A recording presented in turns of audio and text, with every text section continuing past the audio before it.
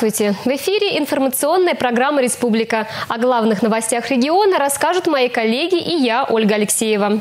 Сегодня члены Кабинета министров внесли поправки в бюджет. Это четвертое по счету уточнение параметров республиканской казны за год. Куда планируют направить дополнительные средства? Доходная база региональной казны пошла в рост. С начала этого года в бюджет республики поступило свыше 57 миллиардов рублей. Михаил Игнатьев отметил, что среди ключевых статей расходов реализация национальных проектов. С федеральным центром мы эффективное взаимодействие выстроили и на выполнение мероприятий всех региональных проектов средства получаем без сбоев. Вот это очень важно. Поэтому есть там отдельные вопросы по главным распределителям средств, то, что вы не своевременно перечисляете подрядчикам, здесь надо в ручном режиме управлять. Из вновь поступившего в бюджет миллиарда треть направят на поддержку субъектов малого и среднего бизнеса. Большую долю расходов предусмотрели и на развитие образования. С учетом уточнения расходов в текущем году по данному направлению составит 2 миллиарда 914 миллионов рублей с ростом к уровню прошлого года на 40%. На развитие культуры при текущем уточнении направляется дополнительно 51 миллион рублей, с учетом которых расходы отрасли составят 1,6 миллиарда рублей, рост на 3,2%. Собственные доходы бюджета тоже увеличиваются. Многомиллионные суммы в региональной казне, налоги предприятий. Глава региона отметил, что сейчас большие перспективы открываются перед машиностроительным комплексом. Так продолжает расти объем заказов в концерне «Тракторные заводы». Активы переданы Трансмашхолдингу. На сегодняшний день Трансмашхолдинг заказывает соответствующие товары на этих площадках. Все площадки не работают. И на агрегатном заводе практически там 2700 работающих. И динамика зарплаты с ростом. Касаясь промышленного производства, по итогам 10 месяцев 104,8%. Это хорошая динамика. Объем отгруженной продукции составил 210 э, миллиардов рублей, что э, составляет 117,5% к соответствующему периоду прошлого года.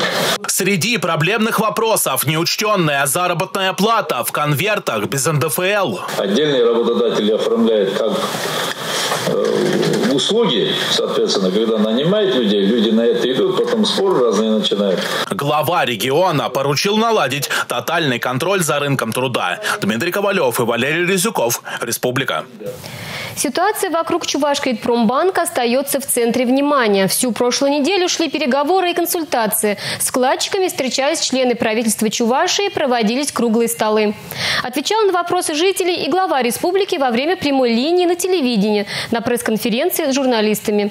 В субботу к процессу подключились новые участники. Как сказал депутат Анатолий Аксаков, приехал он по многочисленным просьбам вкладчиков. Куда они делись – вопрос. Тот же зал в ДК Ухсая накануне выглядел совсем иначе. В субботу, похоже, немногочисленные зрители собрались, чтобы задать достаточно жесткие вопросы. Ситуация с Чувашкредитпромбанком, она была не сегодня и не вчера, как видно из всех выступлений, а год назад. У меня вопрос, почему вы, Анатолий Геннадьевич, не помогли своим землякам раньше? Тем же предприятием ЖКХ, которые хранят там средства. Где вы были? Не встретились с нами? Э, по балансу активы превышают обязательства банка. Причем на приличную сумму, на 400 миллионов рублей.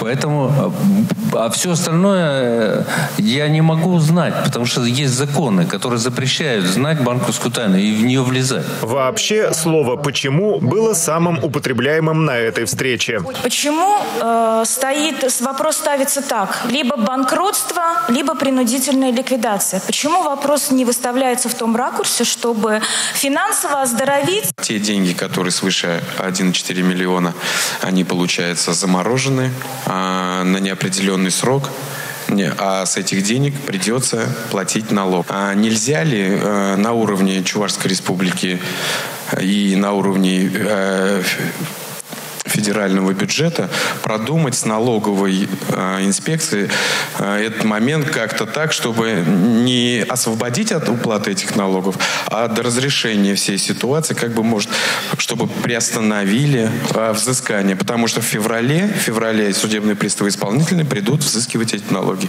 Хороший вопрос. честно говоря, я его первый раз слышу.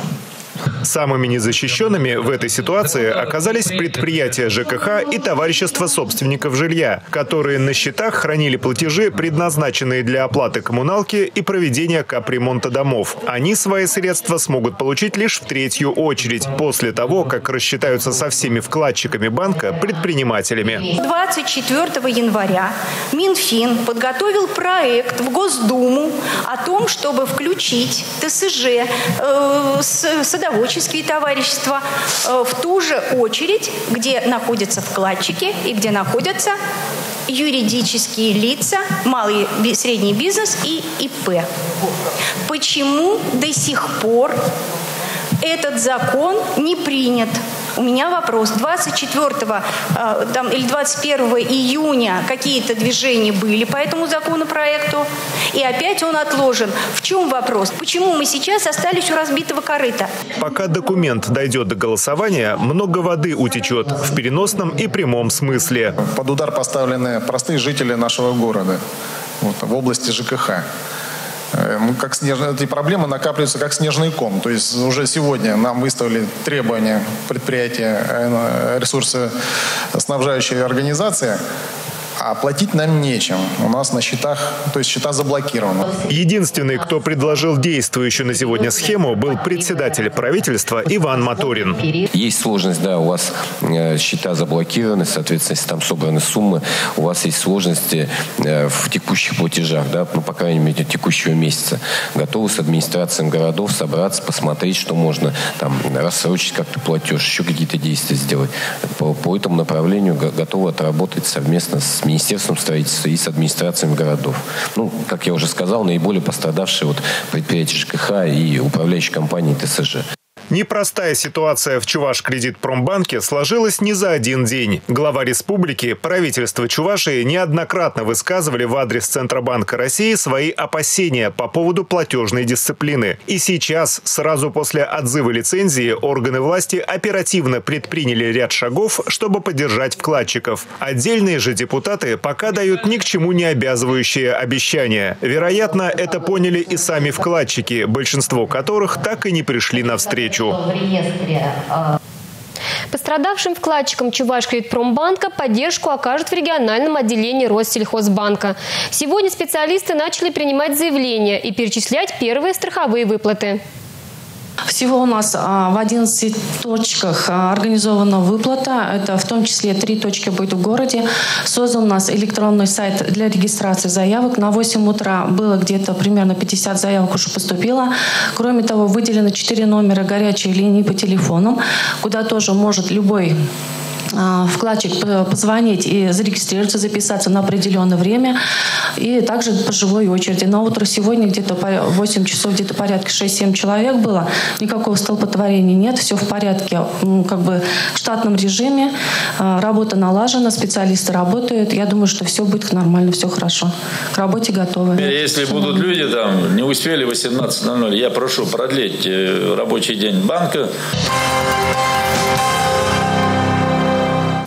Министерство сельского хозяйства Чувашии продолжает отбор проектов инициативного бюджетирования на следующий год. Итоги будут подведены уже в декабре. Эта программа в республике становится все более востребованной.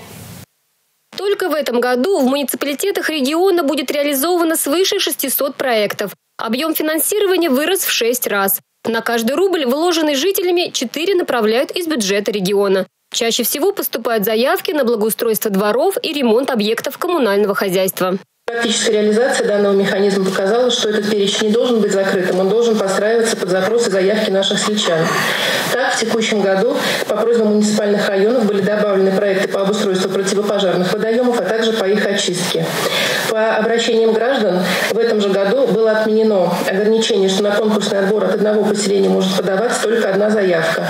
Теперь ограничений по количеству проектов нет, существует ограничение по суммарной стоимости проектов не более 5 миллионов рублей. Кроме того, мы планируем до проведения конкурсного отбора на 2020 год предварительно согласовать конкурсные заявки с отраслевыми министерствами по курируемым направлениям. Ежегодно в целях повышения эффективности реализации инициативного бюджетирования конкурс на отбор на очередной финансовый год проводится в декабре предыдущего года. Это позволяет муниципальным районам проводить аукционы по отбору подрядчиков уже в январе-феврале. Когда люди сами вкладывают за счет своего семейного бюджета, предприниматели вкладывают, отдельные предприниматели там миллионы даже вкладывают, их надо, как бы сказать, э, демонстрировать, показывать. Также глава Чувашии поручил сформировать единый реестр типовых проектов и опубликовать его на официальном портале органов власти. В Чувашии прошел Всемирный день памяти жертв дорожно-транспортных происшествий. С 2005 года в третье воскресенье ноября вспоминают погибших в авариях. Так организаторы напоминают, что правила дорожного движения нужно соблюдать беспрекословно, ведь пишутся они кровью. Протянем руки к тем, глаза чьи слез полны, чей дом осиротел.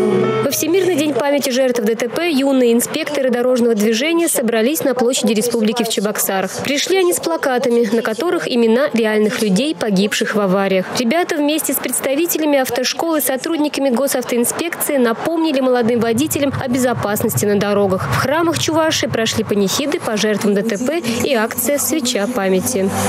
Разные их пути.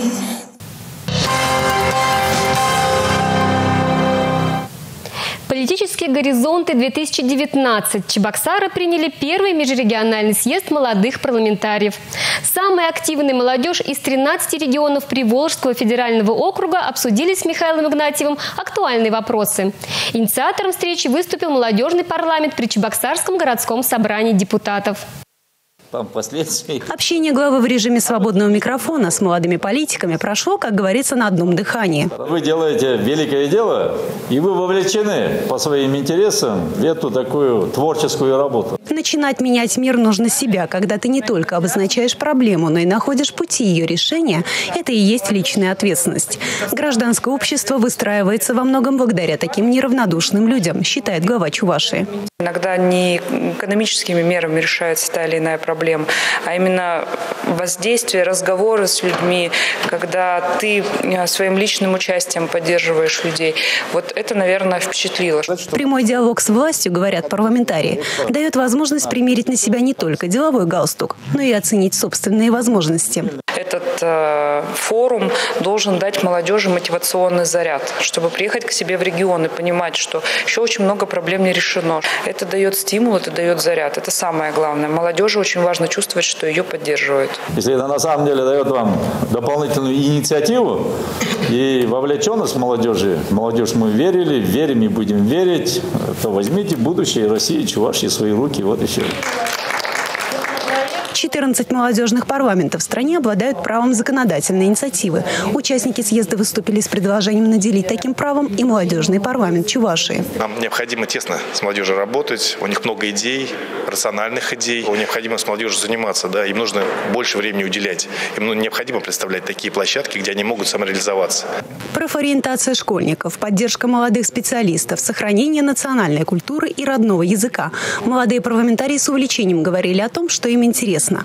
Обсуждение продолжилось в Доме дружбы народов. Говорили об успешных примерах реализации региональных программ и о том, что нуждается в улучшении. Для нашего региона перенимать опыт, то повышение уровня жизни муниципальных районов, рекультивация мусора, уборка мусора, то есть чтобы город и мой регион становились чище, чище лучше, так же, как и в Республике Чуваши, город Чебоксаров. Очень э, правильный подход у правительства республики в данной сфере. И еще об одной важной инициативе, прозвучавшей на съезде. Вся страна готовится отметить 75-летие со Дня Победы. Ребята планируют организовать в регионах ПФЛ исторический тест, чтобы понять, что мы помним, что для нас ценно.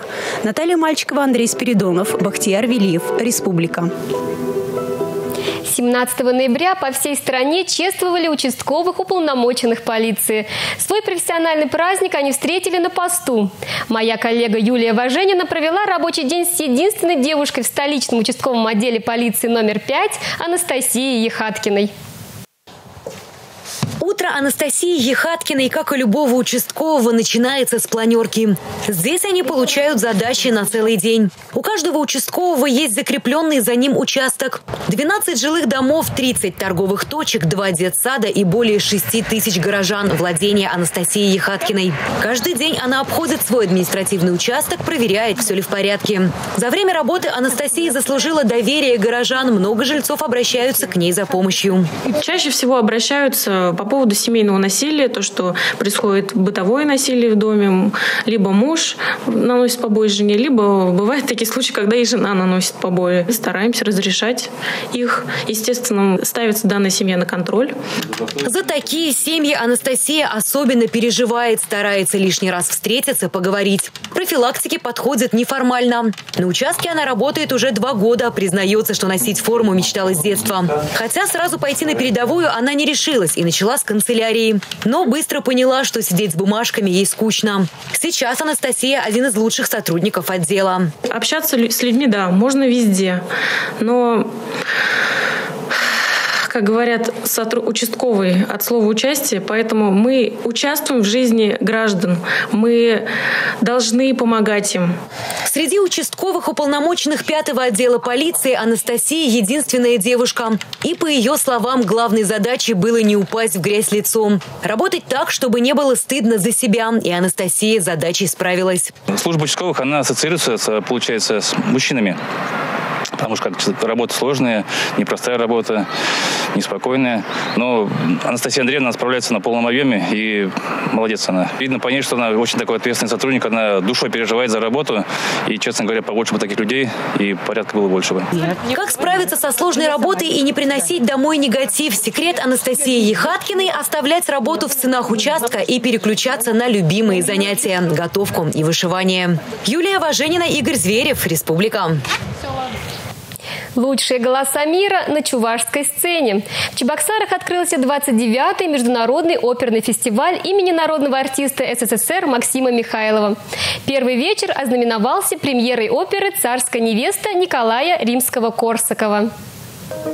«Царская невеста» – одна из самых популярных опер в мировой классике. В основе сюжета – поиски третьей жены царем Иваном Грозным. Его выбор падает на дворянскую дочку Марфу Собакину, уже влюбленную в боярина Ивана Лыкова. Развязка любовной интриги неминуемо трагична. Первое представление оперы состоялось в 1889 году в одном из московских театров. Прошло уже более ста лет, но «Царская невеста» продолжает покорять зрителя. Артистичное исполнение известных арий возвращает нас в далекое прошлое. Итак, фестивалю дан старт. Впереди поклонников оперного искусства ждут незабываемые вечера, наполненные высокой музыкой. Чебоксары в очередной раз приняли всероссийские соревнования по фитнес-аэробике. В центре маунтинбайка собрались сильнейшие команды страны.